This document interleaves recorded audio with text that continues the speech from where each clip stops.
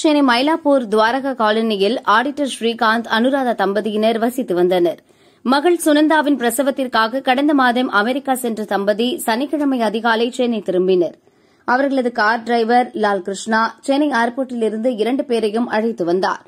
வீட்டுக்கு வந்ததும் தனது நண்பர் ரவியை அழைத்தார். லாலு நேபாளத்தைச் சேர்ந்தவர். ரவிக்கு டார்ஜிலிங் சொந்த ஊர். இருவரும் சேர்ந்து ஸ்ரீகாந்த் அனுராதா தம்பதியை படுகொலை செய்தனர். வீட்டிலிருந்த தங்கம் வெள்ளி பணத்தை கொள்ளையடித்தனர். தம்பதியின் உடல்களையும் கொள்ளைப் பொருட்களையும் அதே காரில் ஏற்றினர். செங்கல்பட்டு மாவட்டம் நெமிலிச்சேரி அருகே ஸ்ரீகாந்துக்கு சொந்தமான பண்ணை வீட்டுக்கு கார் சென்றது. கணவன் மனைவி உடல்களை பண்ணை வீட்டில் புதைத்தனர். காரை எடுத்துக்கொண்டு ஆந்திரா பக்கம் தப்பினர். இதற்கிடையே பெற்றோர் வீட்டுக்கு வந்துவிட்டனரா என்பதை தெரிந்து கொள்ள அமெரிக்காவிலிருந்து மகள் சுனந்தா போன் செய்தார். ரொம்ப நேரமாகியும் யாரும் எடுக்கவில்லை. சந்தேகமடைந்த அவர் இந்திரா நகரில் உள்ள தனது உறவினருக்கு தகவல் கொடுத்தார்.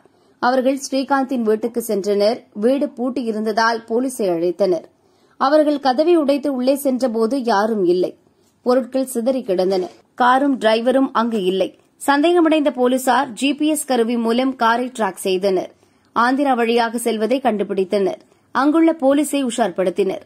அவர்கள் பிரகாசம் மாவட்டம் டங்குட்டூர் டோல்கேட்டில் லால் கிருஷ்ணன் ரவியை மடக்கி பிடித்தனர். மயிலாப்பூர் போலீசாரிடம் ஒப்படைத்தனர். விசாரணையில் ஸ்ரீகாந்த் அனுராதா தம்பதியை கொன்று பொருட்களை கொள்ளையடித்ததையும் உடல்களை பண்ணை வீட்டில் புதைத்ததையும் போலீசாரிடம் கூறினர். தம்பதி உடல்களை தோண்டி எடுத்த போலீசார் பிரேத பரிசோதனைக்கு அனுப்பினர். கொள்ளையர்களிடமிருந்து எட்டு கிலோ தங்கம் ஐம்பது கிலோ வெள்ளி இருபது லட்சம் ரூபாயை மீட்டனர். கைதான இரண்டு பேரும் சிறையில் அடைக்கப்பட்டனர். கிருஷ்ணாவின் தந்தை ஸ்ரீகாந்தின் பண்ணை வீட்டில் வேலை செய்தவர்.